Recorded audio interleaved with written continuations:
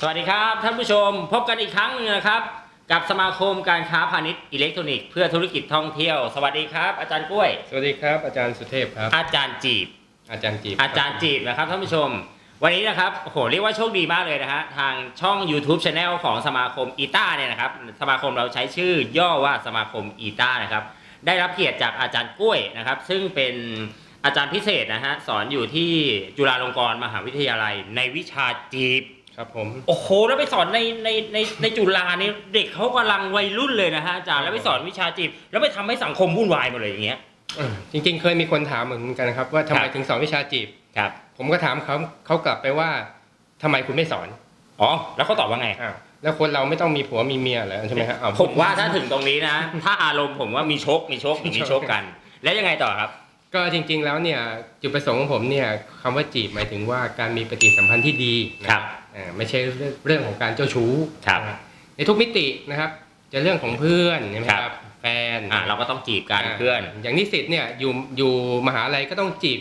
อาจารย์นะครับครับเออก็คนจีบเก่งๆก็ได้เกรดดีถูกไหมฮะเอ้าพูดอย่างนี้ได้ยังไง ปกติถ้าอย่างนั้นก็ไม่ต้องเรียนเก่งอะจีบเก่งๆอย่างเดียวก็ได้เกรดดีๆเหรอจีบนี่มันไม่ได้หมายความว่าไปประจบ แต่หมายความว่าอ่ามีมีความสัมพันธ์ที่ดีมีความรู้สึกที่แสดงว่าผมต่อเข้ากันใจผิดครับ อาจารย์เขาก็ช่วยครับใช่ไหมฮะช่วยในแง่ของว่าไม่ได้ช่วยแบบว่าให้เกรดสูงๆด้วยความลำเอียงแต่หมายความว่าเธออ่าเธอไปทำอย่างนี้สิให้อืมช่วยให้คำแนะนำถูกไหมครับอ๋ออ่าก็คือถ้าเกิดสมมุติว่าเราเป็นอาจารย์นะมีลูกศิษย์เนี่ยอาจารย์ครับอาจารย์ครับ ผมไม่ไม่เข้าใจตรงนี้ ผมสงสัยตรงนี้อ่าใช่อาจารย์จะอาจารย์ก็มีความรู้สึกว่าเออเด็กคนเนี้ยเออมีความรู้สึกกระตือรือร้นเนอะใช่คเราบอันนี้เรียกว่าจีบถูกครับ อ่าใช่ประมาณนี้คือให้มีต่อความรู้สึกดีต่อกันนะครับ แล้วก็มิติต่างๆ อย่างเช่นอ่าถ้าคนจบไปแล้วก็ต้องเรื่องของการไปทำงานครับเจ้านายครับลูกค้าครับเพื่อนร่วมงานรวมไปถึงลูกน้องใช่ไหมครับอืมแม้กระทั่งคนที่มีแฟนแล้ว มีครอบครัวแล้ว ก็ต้องจีบอืมไงงงเพราะคนเรามันมีหมดโปรถูกไหมครับหมายถึงว่าผมแต่งงานแล้วเนี่ยผมก็ต้องจีบคนอื่นต่ออย่างเงี้ยเหรอไม่ใช่ครับจีบคู่ของเราอ๋เองอเหรอนึกว่าไปจีบคนอื่นต่อ เพราะว่าเป็นการขยายโปรออกไปอ๋ออ่าคนเราครับถ้าไม่จีบกันเดี๋ยวมันก็จืด ใช่ใช่ไหมครับบางทีอยู่ 5 ปี 10 ปีเนี่ยรู้สึกความรู้สึกมันเหมือนน้ำอัดลมที่เปิดฝาไว้นานๆอะนั่นแหละใช่ไหมสียังอยู่เหมือนเดิมเนาะครับแต่รู้สึกว่าเวลาดื่มรู้สึกว่าเอ๊ะทำไมจืดโอ้อาจารย์เปรียบเทียบดีมากๆประมาณนั้นครับ แล้วก็ต้องอัดแก๊สเข้าไปใหม่นะประมาณนั้นครับครับอะแล้วต่อแล้วก็หลังจากนั้นอ่าอาจารย์สอนอยู่ในในจุฬาเนี่ยมานานยังครับก็สอนมาประมาณเกือบเกือบๆปีแล้วครับครับ เป็นวิชาใหม่นะฮะครับแล้วก็ผมก็มี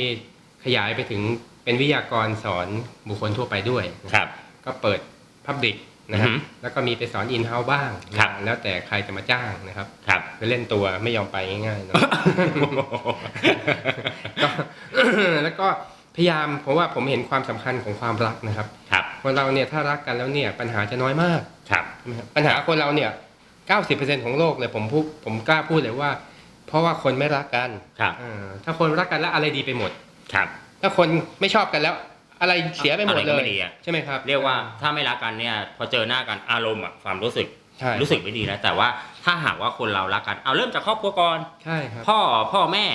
อ่าลูกรักกันครับนะครับโอ้พอเจอหน้ากันบ้านก็น่าอยู่ ใช่นะครับพอขยายออกไปก็อาจจะเป็นหมู่บ้านไอ้ยคนในหมู่บ้านรักกันหมดเลย ถูกมีความเข้าอกเข้าใจกันใช่ขยายไปเป็นตำบลโอ้โหคนตำบลนี้น่าอยู่จังเลยใช่ครับนะครับก็ขยายเป็นอำเภอเป็นจังหวัดเป็นประเทศเป็นโลกเราเลย ใช่ครับสงครามก็จะไม่มีถูกไหมฮะครับอ่าการแข่งแย่งชิงดีเบียดเบียนอะไรโอ้ปัญหาต่างๆ นี่หมดไปแบบเยอะมากครับครับเหลืออย่างเดียวคือเรื่องภัยธรรมชาติเท่านั้นเองครับปัญหาของโลกมีสองอย่างคนไม่รักกันกับภัยธรรมชาติครับใช่ไหมฮะแต่ถ้าครับถ้าคนรักกันแล้วเนี่ยถึงมีภัยธรรมชาติ คนก็ช่วยกัน ใช่ใช่ไหมฮะเพราะเราดูจากประเทศญี่ปุ่นตอนที่เขามีแผ่นดินไหว้อะไรเยอะแยะมากมายใช่คนเขามีมีมีความรักกัน มีความเข้าใจใช่ครับมีสังคมที่เป็นระเบียบครับเพราะฉะนั้นภัยสัมพันธ์เขาสามารถที่จะต่อสู้กับภัยธรรมชาติได้ครับอ่างั้นเดี๋ยววกกลับมานิดนึงครับผมอะเข้ามาถึงเรื่องของสมาคมอีต้านะครับครับผมหลังจากที่อาจารย์กล้วยเข้ามาเป็นสมาชิกและเป็นส่วนหนึ่งของสมาคมอีต้าเนี่ยเอ่อเท่าที่เข้ามาแล้วมีความรู้สึกยังไงบ้างครับ เดี๋ยวเล่าให้ท่านผู้ชมทางบ้านฟังนิดนึงคือผมเนี่ยถือว่าสดๆแล้วร้อนๆเลยนะครับครัยังบยังอุ่นๆอยู่เลยนะครับที่เข้ามาเป็นสมาชิกเนี่ยครับครับก็จริงๆเข้ามาเนี่ยด้วยรู้สึกว่ามีปณิธานของของสมาคมครับว่าต้องการเนี่ยจะพัฒนาผมมองผมมองในมุมของนักการศึกษานะครับครับว่าต้องการพัฒนาศักยภาพของคนเนี่ยครับนะผมผมมองคนเป็นสำคัญครับใช่ไหมพอคนดีแล้วเนี่ยเดี๋ยวมันต่อไปในเรื่องของธุรกิจเรื่องของ ประเทศชาติเรื่องของอะไรเนี่ยไปหมดเลยครับนะครับผผมเห็นว่าอีต้าเนี่ยมีปณิธานที่ดีครับในเรื่องนี้ครับนะครับก็ประทับใจแล้วก็อยากเข้ามาร่วมตรงนี้ครับผมแล้วอยากจะเชิญชวนท่านผู้ชมที่กำลังชมอยู่ทางบ้านทางนี้ไม่ว่าจะเป็นผู้ประกอบการเริ่มตั้งแต่ o t o p SME หรือว่าท่านผู้ชมที่อาจจะยังไม่มีธุรกิจเลยเนี่ยครับผมเขาสามารถที่จะเดินทางเข้ามาเป็นส่วนหนึ่งของอีต้าได้ เพราะว่าทางอีต้าของเราเนี่ยก็มีระบบที่จะเรียกว่าพัฒนา พัฒนาคนครับผมอ่าจากคนที่มีความตั้งใจครับผมคนที่อยากที่จะมีธุรกิจเป็นของตัวเอง บางบางครั้งบางครั้งท่านอาจจะทำงานประจำอยู่ แต่ว่าเริ่มมีความรู้สึกว่าเอ้ยฉันอยากจะเป็นอ่าอยากจะเป็นอิสระ อยากจะออกนอกกรอบนะครับอ่าอย่างเงี้ยอาจารย์กล้วยน่าจะมีอะไร แนะนำท่านผู้ชมเรียกว่าแบ่งปันดีกว่า ครับครัจบริงๆแล้วเนี่ยถ้าต้องการจะ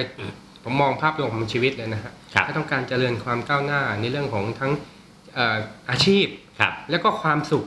ครับทั้งหมดเนี่ยอีต้ามีให้ครับครับอืมเราจะอบรมทั้งเรื่องของวิธีการทำมาหากินครับพูดพูดภาษาชาวบ้านเอาภาษาชาวบ้านเลยเออนักวิชาการเข้าใจเออแล้วก็เรื่องของความสุขส่วนตัว ความครับปฏิสัมพันธ์ของคนรอบข้างอย่างเงี้ยครับทุกอย่างมันต้องประกอบกันให้หมดครับและเรื่องสุขภาพอีกอ่าเนี่ยเอาครบเลยครับใช่ไหมครับเนี่ยอีต้ามีให้นะครับ ขอเชิญเลยนะครับครับขอเชิญเลยครับอ่าขอเชิญเลยนะครับคอนเทนต์นี้นะฮะอย่าลืมนะครับท่านผู้ชม ทางสมาคมเรานะครับ ทางช่อง YouTube Channel ของสมาคมอิต้าเนี่ยจะผลิตคอนเทนต์แบบนี้นะครับ ขึ้นมาฝากท่านผู้ชมเป็นประจำเลยนะฮะอย่าลืมนะครับ กด Subscribe หรือกดติดตามที่ปุ่มสีแดงที่อยู่ด้านล่างนี้นะฮะหลังจากที่ทางสมาคมเราเนี่ยอัปเดตข้อมูลเข้าขึ้นมาแล้วเนี่ยท่านผู้ชมจะได้เป็นสาระาความรู้ให้กับท่านผู้ชมนะฮะแล้วท่านผู้ชมยังสามารถที่จะกดไลค์กดแชร์ ไปแบ่งปันกับผู้อื่นที่อยู่ในสังคมของเราณปัจจุบันนี้ได้นะครับสำหรับวันนี้นะครับ ผมแล้วก็อาจารย์กล้วยเนี่ยคงครับผมต้องลาท่านผู้ชมไปก่อน แล้วกลับมาพบกันใหม่ในคอนเทนต์ถัดไป สวัสดีครับ